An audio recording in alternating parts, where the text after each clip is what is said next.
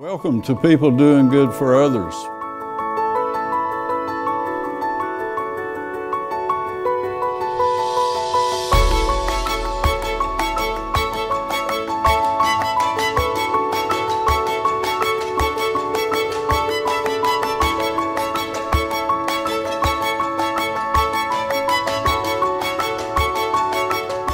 Welcome to People Doing Good for Others, where we praise and celebrate and honor those who are truly making significant differences in our communities. I'm Gary York, and I'm grateful to be here today. I want to thank Wilkes Communications, RiverStreet Productions, and 100.9 WIFM for this opportunity. And again, please uh, stick with us as this is going to be a wonderful experience. My featured guest today is Will Bishop. He lives here in Wilkes County. And he's involved in Boy Scouts of America as a volunteer. He grew up in Monroe, graduated from East Carolina University, and is a retired Air Force officer. And again, thank you for being here. It's my pleasure. Thanks for the opportunity. Good morning. Just so honored to be uh, about Boy Scouting. It's just always been an inspiration in my life. And if you will, uh, let's go back to your career in, in the military. I spent uh, 22 years in the United States Air Force, uh, predominantly in the satellite operations, satellite command and control uh, business. Um, I uh, retired from the Air Force in 2007 and went to work uh, with my wife's company. She is a speech language pathologist, and I took over pretty much everything except speech pathology. So if she needs billing, bookkeeping, um, tire changes, whatever it takes to keep her on the road and keep her working. That's my way of kind of giving back to her after she gave, you know, so much during my career to, to me. Um, uh, Will Bishop, you talked about your career and about your attachment to scouting. Uh, kind of bring that together for me. Well, um, I started scouting uh, when my son became uh, Cub Scout age, so he joined as a Tiger Cub first grader, and I followed him uh, all the way through to Eagle Scout. Um, and when he aged out of the program, uh, I stayed on in scouting. But scouting is, is a good partnership with the military because as you move from town to town and place to place, everywhere you go, uh, there are Boy Scout units, and your, your child has a place to fit into a unit. Uh, you have a group of adults outside of the Air Force that you have a different type of shared experience with through scouting. Uh, and it was a great, uh, a great partnership for our family. Everywhere we went, we not only had an Air Force home uh, and a community home, but we had a scouting home. And it was a great way to, uh, to, to, travel around the country and meet a lot of great people that, that share the same kind of values that, that we share and promote. So, Will, that was kind of a a great mix or a quickest way to meet people you could imagine, I guess. That's right. That's exactly right. Yeah. So when you when you would leave, the Air Force would send you to another place, then you knew the scouting would always be there. That's exactly right. That's one of the first. Along with looking for schools, we look for scout units and a place for our son to, to continue his scouting journey. I think it'd be a good time for us to talk about the values of Boy Scouting and how it started and uh, some of those things that that you are so near and dear to you, Will Bishop? Well, the mission of the Boy Scouts of America is to prepare eligible youth to make moral and ethical choices throughout their lifetime by instilling in them the values of the Scout Oath and the Scout Law. Uh, the Scout Oath um, is where a young person and an adult leader um, takes their commitment to um, God, uh, to their community and country, and, and ultimately also to themselves in, in living by a, a code or a set of values. And the Scout Law is a list of 12 points where um, we express what's important to us trustworthy, loyal, helpful, friendly, courteous, kind, obedient, cheerful, thrifty, brave, clean, and reverent. And we feel like in this program, if we can instill those values in others, uh, and the founder of the Boy Scout movement, um, knew that if we could instill those kind of values in others, that the world would be a better place. And, uh, and so that's what we strive for, and that's what we try to, uh, to put in the forefront uh, with young people and the types of activities that we do. Scouting has been around uh, in the United States since 1910, uh, and we have a unit in Wilkes County that's been around for 87 years. Uh, and so this program not only goes back a long way in the country, it goes back a long way in Wilkes County as well. So, Talk about that troop. so that's uh, Troop 336. Um, they are in uh, North Wilkesboro, um, and they have a, a long history uh, here in the county. Uh, 87 years is a long time for anything, uh, but uh, certainly a long time for that troop, and it's, it's really due to dedicated leaders, uh, the continuity of, of leadership, and, and also to a chartering organization, um, the Presbyterian Church, uh, that supports them and has supported them for all of those years. How did, what was your first connection here in Wilkes County? Uh, I was at uh, a restaurant in town and uh, I saw a leader in a scout uniform. I was, uh, had just moved here, or actually, I had not even completed moving here. I was in the process of reworking my home and getting ready to move here. And I saw a leader in uniform in a restaurant. I walked up and introduced myself to him. Uh, turns out he was one of our uh, handful of paid professionals that we have in the area that supports the volunteers in the program. Uh, he gave me a card and said, Well, when you move here, you should show up on the second Tuesday at 6 o'clock, and there'll be some other scouters uh, that, that I'm sure would like to meet you. And so I completed the move and I waited a, a month or two, and then I decided, you know, it's time to go meet some of these people that do scouting here in Wilkes County, and I showed up, and uh, it's about five years ago. And um, the, you know, the rest is history. We, we pick up with a group of people, uh, we have a mission, and we move forward with it here in Wilkes County. Will Bishop, let's go back to your uh, family business with your wife and a little bit about what she, I think that's important too. Let's talk about her and the role you play in this uh, business. She is a uh, speech language pathologist. She works with uh, special needs preschoolers predominantly um, that have uh, significant issues related to uh, speech and language development or related to feeding and swallowing issues um, or just general communication difficulties that brought on by any number of conditions. And she works with those children in their home, in their natural environment. Um, and what I do for the business is uh, pretty much the, the medical billing, uh, the bookkeeping, the contracting with insurance companies, the, the um, credentialing and accreditation and that sort of thing. And, uh, and as I like to tell people, and I'm happy to do anything else she needs me to do as well. And, uh, and that's kind of my way of supporting her the way that she supported me for a number of years. And she goes in the home. She does. Uh, well, wherever the natural environment issue happens to be. So sometimes it's home, sometimes it's daycare. Uh, if there's a special issue going on, she can, uh, she can arrange to meet you and, and uh, work just about anywhere the child needs uh, to, to be worked with. So she's a mobile business and uh, she goes where the child is. Now I want to go to the Cub Scout uh, part of your life and starting with your son. And uh, what are the values that we are sharing at five and six years old? Just tell us a little bit about how that works. Well, Cub Scouting has been around since 1930. Uh, the younger boy, the younger child program, and that's uh, uh, now kindergarten through fifth grade. Um, and we start early. They, they use the same oath and law that the Boy Scout program uses. Um, and they, they learn early what each one of those points of the law means. What does it mean to be kind? What does it mean to be um, you know, thrifty? What does it mean to be helpful? Um, and we teach those through uh, a variety of activities that, that are age appropriate through a scouting curriculum. So we obviously, people think of scouting and they think about the outdoors, which we, we definitely are outdoors uh, uh, focused. But we also do a lot of other things, uh, everything from uh, from health and nutrition to uh, technology related things. We teach young kids how to be safe on the internet uh, and what that means. We, we really, at the younger age program, it is a family program. Most of the requirements that a young person would work through involve some sort of activity or discussion with their family, uh, whoever that family happens to be.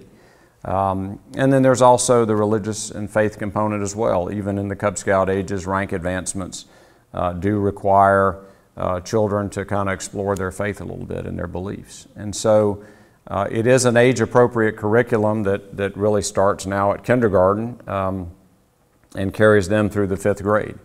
When they get into the, the older boy program, I'll back up a little bit. So, some of the things that the Cub Scout program is known for, other than being outdoors and things, of course, one of our biggest events every year is the Pinewood Derby, where you actually uh, get a block of wood and a set of wheels, and it is your job to turn that into a race car.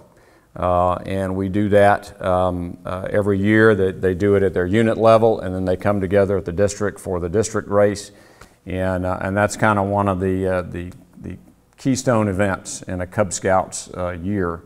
Uh, my son still has a collection of cars that, that he and I made together over the years. Oh and I remember the one year that I had as a Cub Scout where uh, the man who is now my stepfather and has been since I was in the fourth grade, and I made a Pinewood Derby car, and we took it and raced it. And if people don't think it has an impact, I will tell you that I can still see the room, and I can still see the car, uh, and, and it was a great event. Uh, and when I talked to my stepfather about scouting, he's 87, when I talked to him about scouting, most of the time he will mention we made a Pinewood Derby car. Um, so those kind of those kind of activities that not So only that teach Partnership develops uh, the great uh, bonding that c- came through the car. Ab- absolutely, and scouting is uh, is as I've said earlier a family activity, um, and so scouting is not only good for community and country uh, and young person, but it helps also build good families. Um, and, and we have just some terrific scouting families everywhere I've ever been. Uh, and it's because of that experience that the, the scouting program can give them. When you get into the older boy uh, program, what we typically think of as Boy Scouts, not Cub Scouts, uh, the Boy Scout program starts turning a little bit differently because among the other things that we teach young people uh, is leadership. We are trying to give them opportunities to understand leadership and, and what that means and the kind of situations you can encounter. So, an ideal troop is boy led, and they have a scoutmaster, um, and the scoutmaster is there for mentoring and guidance, and they have a committee and other adults that are supporting the troop. But the goal is to eventually teach those boys to take responsibility for their troop and lead themselves through the effort of, of running and having a troop and an outdoor program uh, and a merit badge program and all of those things that, uh, that people know scouting for. As a volunteer, uh, we had talked briefly about uh, turning shoulders. I like the way you said that. Well, share that with us today. Uh, it's safe to say that as a young person, uh, every now and then I may have been a degree or two off uh, from, a, from the course I needed to be on. And I had hardworking parents, uh, and I had parents that, that understood, uh, in my mind, they understood how and when to provide that little course correction. So if I'm heading over here just a little bit and I need to be heading over here, that would be where they would kind of turn the shoulder. Uh, sometimes it was in a very cordial and counseling method, and sometimes it might have been in a very corrective method, uh, depending on the situation. But one of the, the methods of scouting is also association with adults. As I like to say, association with adults other than your parents. Uh, we all know that sometimes kids respond better uh, to a scoutmaster or assistant scoutmaster uh, that may or may not be their parent, uh, but, but sometimes they respond better if it's not their parent. And they get that association with other adults, again, kind of bound by the, uh, the mission and the shared values and, and, our, and our purpose and our, and our program. Uh, and that's, that's a big plus for young people, too, uh, to have that association with adults. I know my son, when he left Colorado to move to North Carolina, one of the last stops he made was to uh, the house of his Life to Eagle mentor. That was an assistant scoutmaster in his troop, and he said, You know, before I leave town, I'd like to go see Mr. Neal. And we went and had dinner with their family, and, uh, but that's the kind of association outside of my family that my son had with other adults. Uh, and that's an important part of the program as well. Will Bishop, what is the transition from Cub to Scout to, just walk right through that about if a person pursuing the Eagle will need to do these, uh, just talk about Okay. from here to there. Sure, sure. So Cub Scouting, uh, when you join into Cub Scouting, is a kindergartner now uh, and a first grader. Um, in the, you're a lion and then a tiger. You work through a series of what we call adventures. They are different program blocks uh, that that a scout gets to learn and do things. And those in the early years are, are, like I said, influenced by the parents and the leaders, and they are worked together. Uh, with the young people, get that feeling of belonging to a den, a wolf den or a bear den, um, working through things together, and then they go home with little homework assignments, so they work with their families, and they progress through the ranks uh, all the way through to the, to the end of the fifth grade.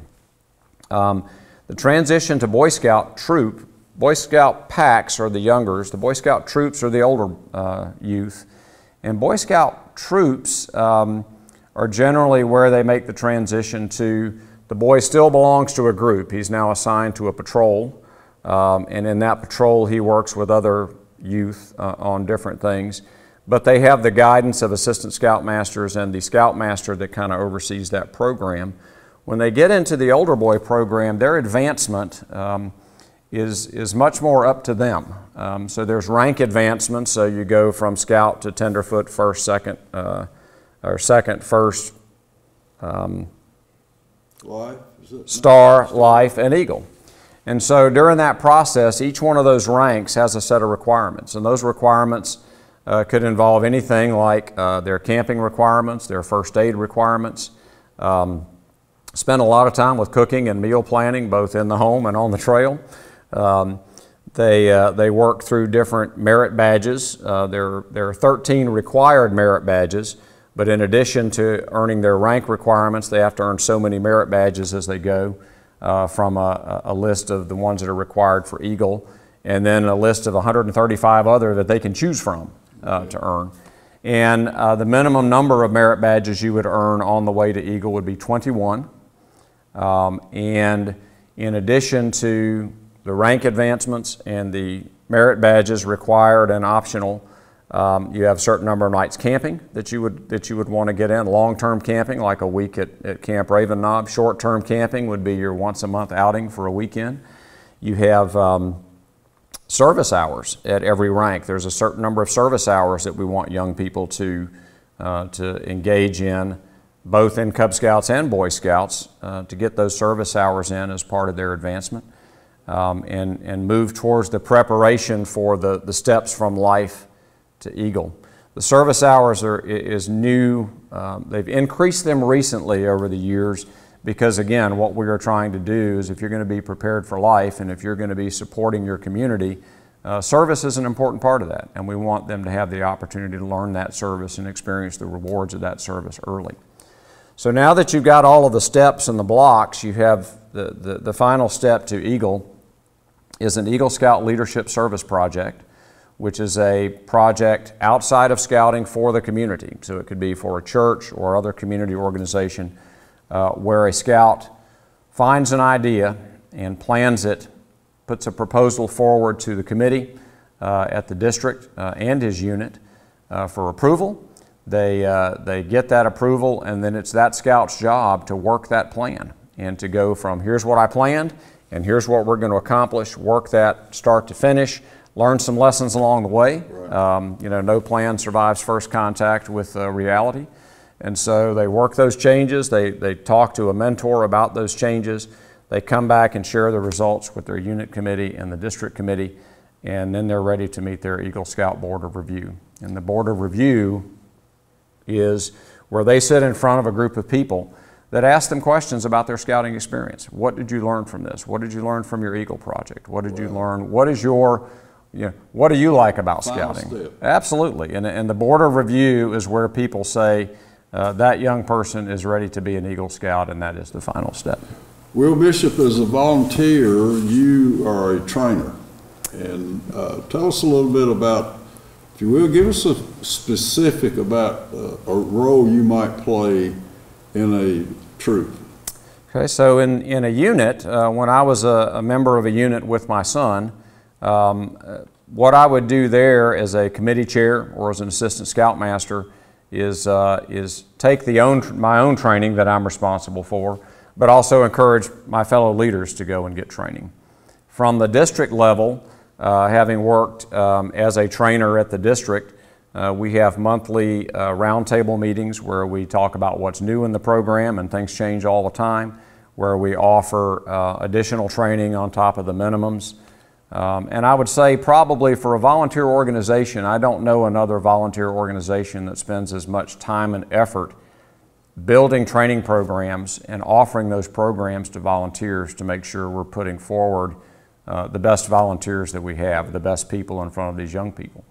And so, uh, one of the areas of adult leadership training that I've spent a great deal of time with is, is Wood Badge. And that is a course that is designed to take a leader and put him or her in the shoes of a scout. And where they live and work in a troop, they camp as a troop, and, uh, and that is the highest level of adult leadership training in Boy Scouts of America. Um, 2019 marks the 100th anniversary of Wood Badge.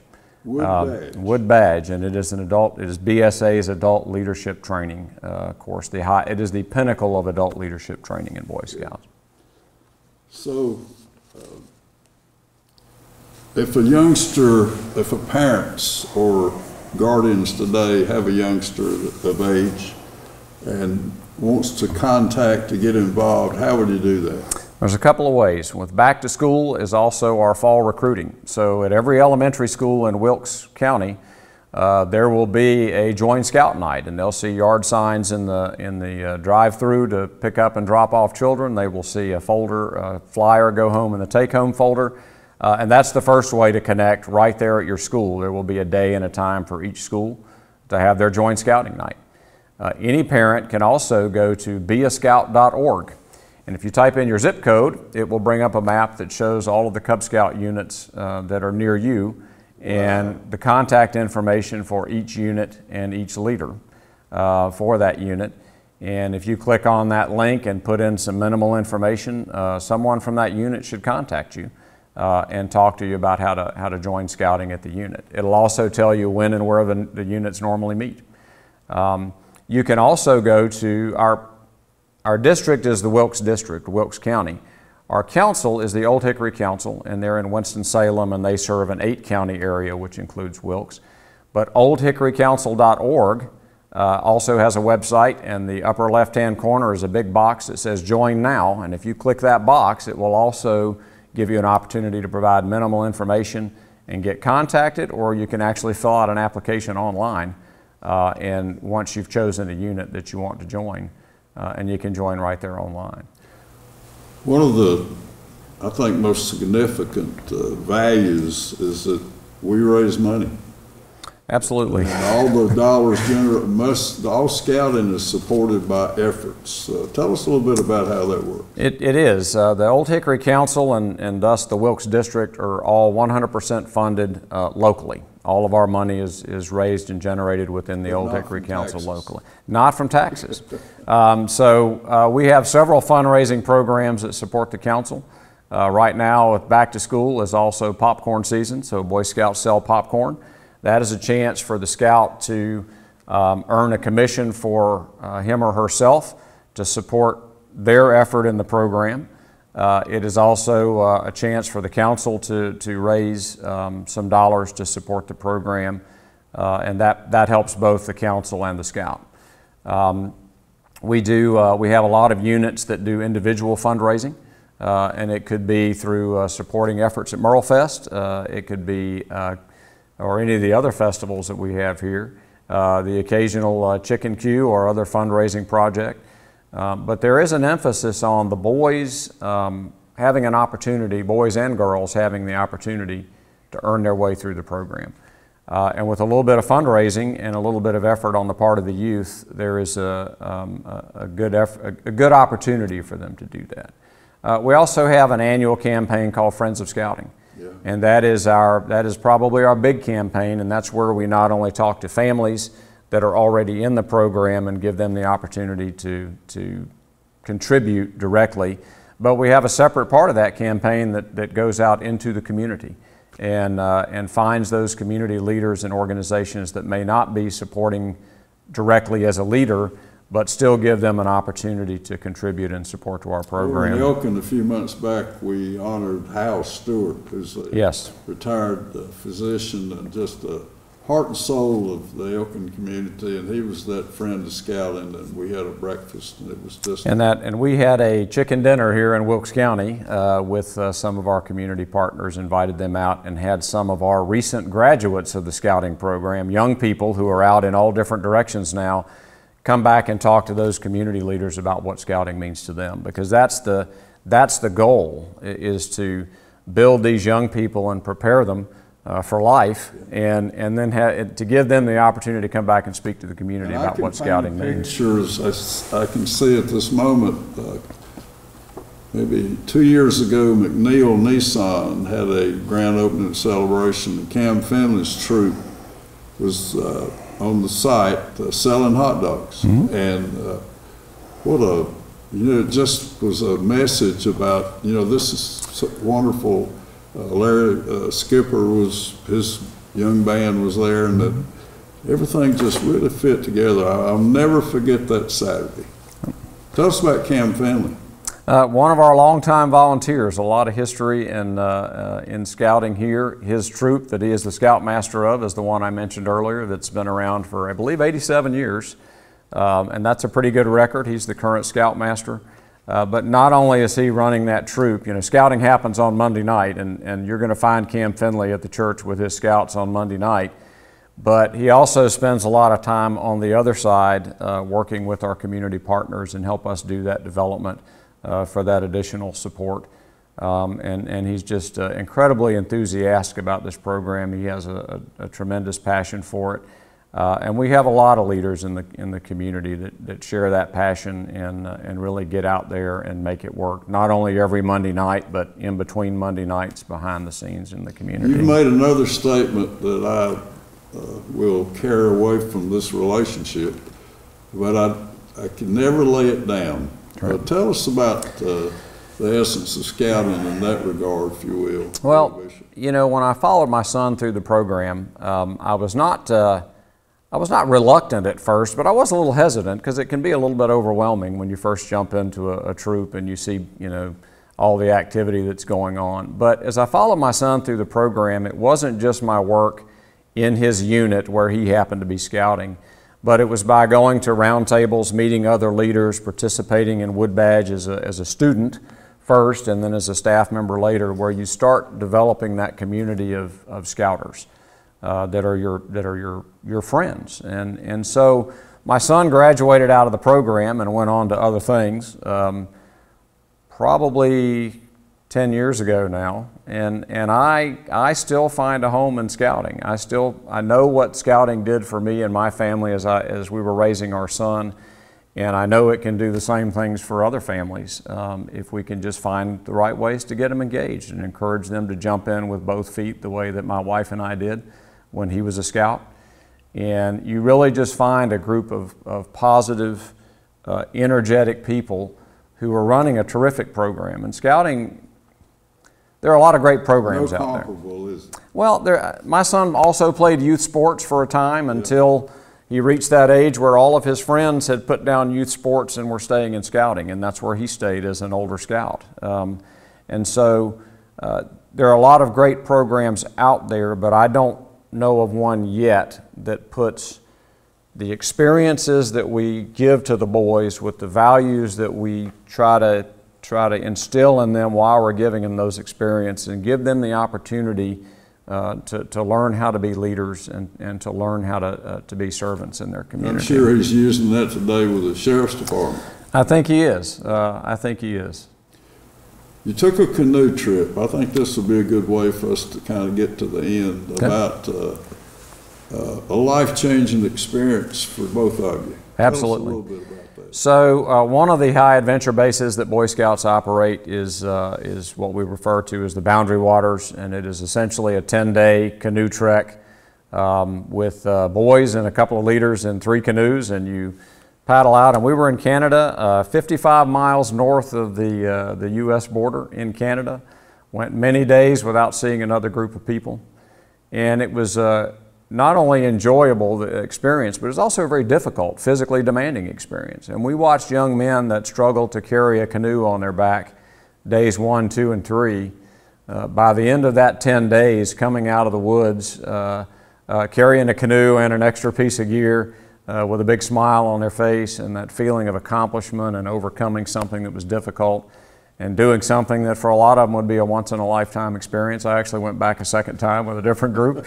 Um, But just giving them those experiences where they get to really test themselves and learn and, and, and, uh, and learn as a group and belong to that crew that's out there in the wilderness, that's a, that's a great opportunity. Will Bishop is a district commissioner, a trainer, a leader, developing young men and their families. And the women are coming uh, in a good place. It's going to be uh, uh, joining the Boy Scouts. So tell us uh, the impact of scouting in your life as we finish today. Well, um, I think that the biggest impact for me is that association with, with positive people that, that are doing something that they really believe is meaningful. And I've seen a lot of changes uh, in the program. Um, and one of the biggest changes, of course, now is this year we have uh, at least five so far uh, young ladies in the Boy Scout program. They're joined Cub Scouts. Uh, and by February of 2019, we will likely have a, a troop, uh, a, a troop of girls that are scouting. And we'll be called Scouts BSA. Boy Scouts is still the parent organization, but older Scouts will be Scouts BSA. And one of the reasons that I've stayed with the program, of course, is because I believe in what it stands for and what it does.